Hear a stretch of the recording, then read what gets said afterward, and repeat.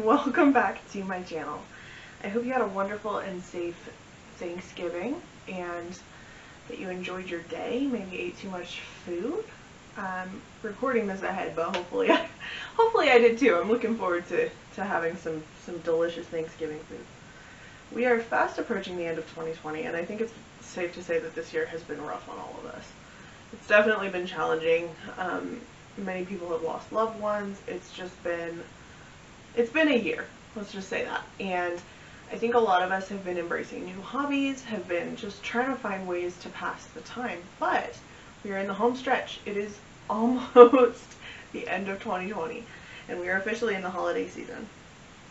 So personally for me, I'd love to pretend like I spent all of my time accomplishing new things and learning stuff and not just spending a disgusting amount of time watching YouTube videos and browsing Pinterest. But I did do some time sewing and crafting and reading. And so today, um, I really want to focus a little bit on some of the books that I've been reading. So this year, for me personally, with how disappointing and challenging and unexpected so many aspects of this year have been, um, I've really been enjoying reading a cozy mystery series. The particular series that I've been reading is The Witch City Mysteries by Carol J. Perry, which you can see right here. You can probably see those. We'll talk more about them in detail in a minute.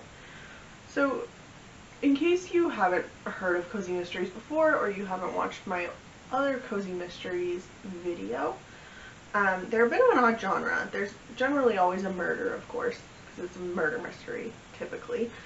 But it's handled in such a way that it's generally not violent or gory or scary in any way. Um, there's no really graphic sexual content. There's rarely any kind of um, foul language, if that's something that bothers you. And the protagonists always win. And plus, there's usually animals. So for me in particular, these are books that I find really comforting. There's something about them that it's like watching really old detective mysteries on TV where, you know, they're gonna get the bad guy and you're not gonna have to see anything really terrifying and it's not gonna be some sort of shocking plot twist where your best friend is the murderer or something like that. And I think, you know, this year for me at least, that was something that I really needed. I really needed that kind of comforting, just kind of gentle plot that I could just kind of enjoy, and go along for the ride, and not have to be worried about what's around the corner. Because I feel like we all had enough of that this year. Just saying. So, in this particular series, The Witch City Mysteries, they take place in Salem, which is actually the author um, Carol J. Perry's hometown. And it features a small sprinkling of the supernatural, so in this book series, it's really interesting. I'm being drooled on by a cat, so I apologize if I'm a little bit distracted. Um, some characters embrace the supernatural more than others. You know, honestly, it kind of reminded me a little bit of how it's often handled in real life, right? So there's some people that believe in psychics and clairvoyance and people like that, and there's some people that don't. And, you know, in this book series, it's the same. There's some people that believe in it, there's some people that don't as you go on, um, it gets a little bit more clear that, that this is real, at least for the main character, but it's still something that's very, very minor in terms of the plot. Um, this comes in kind of a sharp contrast to another Cozy Mystery series I read in January of 2020, although that feels like an actual eternity ago, um, which was the Nun of Your Business Mystery series by Dakota Cassidy. And in that series, the main character's best friend is a literal actual demon from hell. She escaped from hell because, I don't remember why, because, again, actual eternity ago. And, um, so you can't really ignore that as much. It's it's very clear that, that there's a little bit more of a supernatural bit in that series. If you're interested, I did a video about that series as well. It's on my channel. It's one of the first videos that I actually did. Um, in the Witch City series, you can kind of embrace or not the supernatural bits of the story as you like.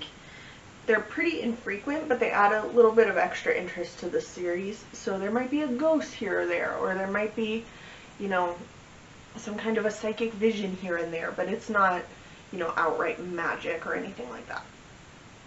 There's also, um, because it takes place in Salem, there's a little bit of a bent on, you know, witches and Halloween and those kinds of things, but again, it's, it's fairly minor in terms of the actual plot. The main focus is generally on solving whatever murder happens to have happened in that particular book.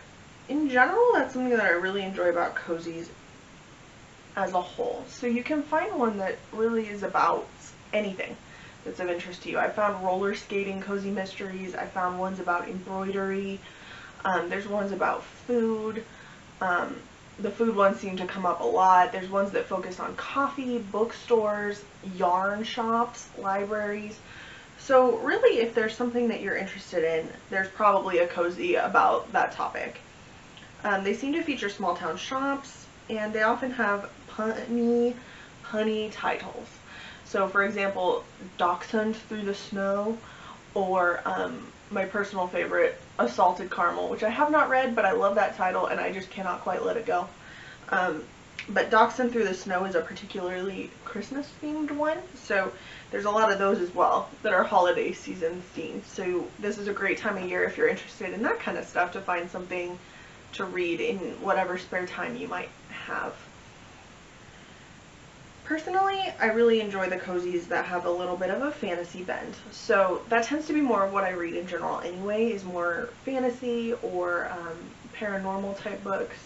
I used to read a lot of like Kelley Armstrong and those kind of paranormal romances. So for me, these cozies like the Witch City series where it just kind of takes a little bit of a dive from the real world into the paranormal is really kind of right up my alley. I'm curious about ones that are related to other hobbies that I have too, like as I mentioned sewing and embroidery. So I'll probably look into those going forward. A lot of them focus on books, which I'm also of course very interested in. But Nun of Your Business was actually really unique in that it focused on a tattoo shop, which is not necessarily what you would normally think of when you're thinking of a cozy mystery. Are you done, Rupert? So that one was a little bit unique. So like I said, you can pretty much find a cozy about anything if you're willing to look a little bit. Nun of Your Business was quite unique in that it featured a tattoo shop and, you know, demons, nuns. They're fun, okay? I know it seems silly and maybe they are, but they're still fun and they're books and I enjoy them. I'm on book five of the Witch City Mystery Series, which is called Grave Errors. So let me just show you all of them really quickly. So the first book is Caught Dead-Handed. So book one is Caught Dead-Handed. Book two is Tails You Lose. Uh, that one has a little bit of a ghosty haunted mansion feel to it. Um, Look Both Ways.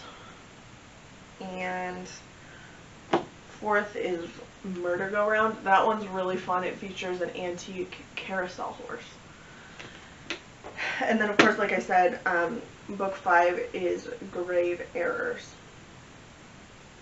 So in this particular book, there is a little bit of a Dia de los Muertos twist, which is interesting. It's kind of a unique twist. They've done a lot about Halloween because of Salem and that being kind of a big deal there, but um, this one kind of goes into Dia de los Muertos a little bit. And I don't know if you noticed, but every cover features this kind of chonky orange cat which is of course exciting to me. We just met Rupert. So um, you often find these animals or cats or um, various creatures that kind of go along with the main protagonist, which I love. I love animals, so that's always something fun for me personally as well. So, like I said, I'm on book five, which is Grave Errors. I think there are 10 books in this series, so I'm not entirely sure if I'll finish out this series or look for another one, but they've definitely been a help with surviving 2020. Cozies in general, kind of the appeal and kind of the downside is that they can be a little bit predictable. So, you know, you know the protagonist is probably going to get the bad guy. Um, and so they kind of become a little bit formulaic, which is comforting, but at a certain point, I don't know that I necessarily need to read 10 of them in the same series. But, you know, it remains to be seen. I might end up reading all of them, who knows. And I've enjoyed hanging out with Lee, Ibby and Orange Cat O'Ryan. We like orange cats in this house. It's kind of what we do. And there are just a lot of other fun cozy mystery series that have caught my eye, whether I'm walking through Barnes & Noble or the public library. Unfortunately, these books are really easy to find in public libraries, and most are generally published in paperback or ebook, which makes them affordable. And you can often find used copies if you look on Amazon or at used bookstores. At used bookstores, the only challenge is trying to find them in order if that's something that's important to you, although I will say that in most cases it's not really critical. Um, you tend to miss out on backstory on characters and things like that, but the plot seems to be kind of specific to each book, kind of like a sitcom, I guess, where there are elements that carry through, but they'll introduce them to you enough that you'll be fine. But if it's really important to you to read the books in order, the used bookstore route might be a little bit more of a challenge. The first book in Witch City is Caught Dead-Handed. Um, Lee, the main character, returns to her hometown of Salem and naturally comes upon a murder which is something that you will encounter. That's kind of a consistent theme in cozy mysteries that the protagonist, for whatever reason, completely unqualified, comes upon a murder and has to help solve it for whatever reason. They become entangled in the case and they have to help and it's a whole thing.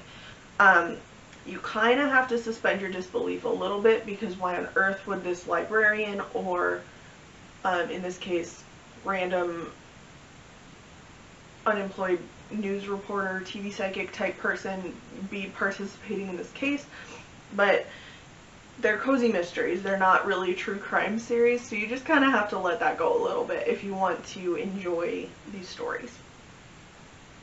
I'm not sure that I would say that there's too much value in rereading these books. Um, like I said, they're kind of a little bit formulaic, and once you read them, at least for me, I don't really see the point in revisiting the story. Um, once you know who done it and the story wraps up, it's just kind of kind of done. And it, like I said, it's kind of sitcom-like in that whatever happened in that particular book might be very much contained in that particular book and may not have a whole ton of bearing on the future books. So, you know, it's up to you if you want to reread them or not. I don't know that they're necessarily books that I would recommend investing in hardcover copies of, for example, just because I don't know how often you'll reach for them again. But if you haven't tried reading any cozy mystery series before, I can definitely recommend giving it a shot in general. This series in particular is fun. I mean, in general, they're all fun in different ways, so you just kind of have to find the ones that appeals to you. Some of them have recipes in them even, so if you're a baker, you might enjoy that. And who knows?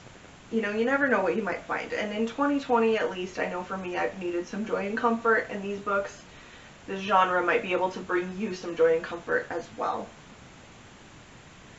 Even if that joy and comfort just comes from an excuse to laugh at a silly title or have some tea. So I really hope you enjoyed this video. If you did, um, please go ahead and like and subscribe to my channel for more book-related content. Let me know down below if you have any cozies you recommend. Um, I'd love to hear your recommendations. And thank you so much for watching. Bye guys.